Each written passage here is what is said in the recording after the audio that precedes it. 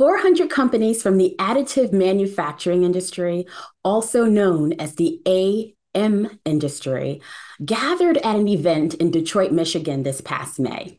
They met to exhibit the latest technological advances in 3D printing. The annual event, hosted by Rapid Plus TCT, showcases the who's who in the 3D printing world. It's North America's largest and most influential additive manufacturing event with over 9,000 attendees. At this year's event, the 3D printing community was abuzz with a new additive manufacturing initiative launched to help build U.S. domestic supply chain resilience using 3D printing technology while reducing its reliance on international suppliers. The initiative, called AM Forward, is a voluntary program designed to help small to medium enterprises, or SMEs, increase their 3D printing adoption. Launched by the White House this past year, the initial participants in AM Forward were five large manufacturers. Uh, they are GE Aviation, Honeywell, Lockheed Martin, Raytheon, and Siemens Energy.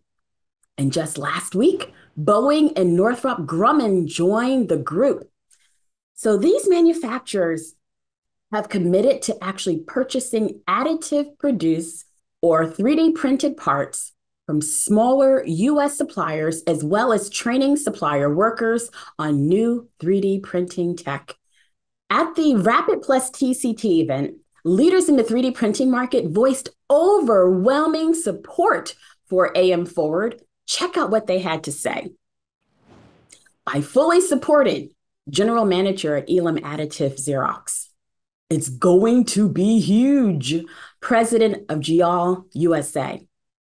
It is long overdue. Head of business development at Fast Radius. The initiative will create a nationwide network of qualified additive manufacturing suppliers. Director of Operations, Military Programs, a GE additive. We're ready to partner with the government, partner with these small businesses, and provide them the skills, the training, and systems to take full advantage of it. Director of Product Management at Markforged.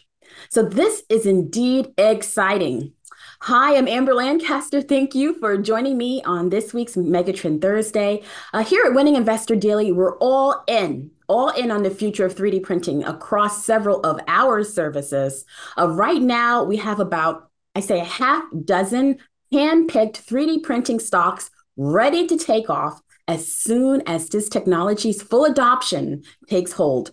Uh, we know that the share price, we know that the share price in these 3D printing stocks have been really, really beaten down over the past year, but it's not the time to lose hope in this industry. As my colleague Ian King shared on our Market Insights video this past Monday, right here on this YouTube channel, a shameless plug, uh, please uh, like and subscribe and click the bell uh, to receive alerts when we do post these webinars. So we'd be so happy if you do that. Um, he said, quote, big money is not made in bull markets, but in bear markets. You see, winning Investor Nation is all about the timing buy low, buy slow. Uh, 3D printing's reach and capabilities are just getting started as large manufacturers work with additive manufacturer SMEs to reshore and build new era manufacturing here, right here in the US. A Statista's forecast data shows that global 3D printing market size is set to double by 2026 from 17.4 billion in 2022 to 37.2 billion in 2026. And from automotive to healthcare, healthcare to industrial manufacturing, innovations in 3D printing are industry changing. And I can tell you, one stock that we currently hold in the model portfolio that we recommend is 3D Systems Corp. The ticker is DDD. Now, based in Rock Hill, South Carolina, 3D Systems' latest financial results for the second quarter of 2022 showed continued strength in the industrial segment of their business while increasing demand from the healthcare market. Uh, the company's revenues got a nice boost from their healthcare end market segment, all thanks to strong demand in 3D printed dental as well as medical parts. Now, 3D Systems stands to thrive over the long term as 3D printing goes mainstream.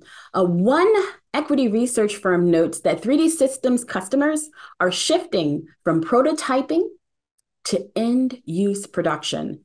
This has the potential to be a significant windfall for the company. End use products is where the money has the potential to be made exponentially. And most importantly, 3D Systems has a strong balance sheet with a good amount of cash. It has some liquid position there and less debt obligations. As of June 30th, 2022, 3D Systems had cash and equivalents and also some short-term investments uh, totaling around $638.2 million and a total debt of 447.5 million. If you like to take part in the growing 3D printing market as a whole, uh, well, you can also consider buying shares in the 3D printing ETF, uh, ticker PRNT. Uh, this exchange traded fund gives investors access to around 68 companies that are part of the 3D printing market PRNT trades on the Chicago Board Options Exchange, CBOE.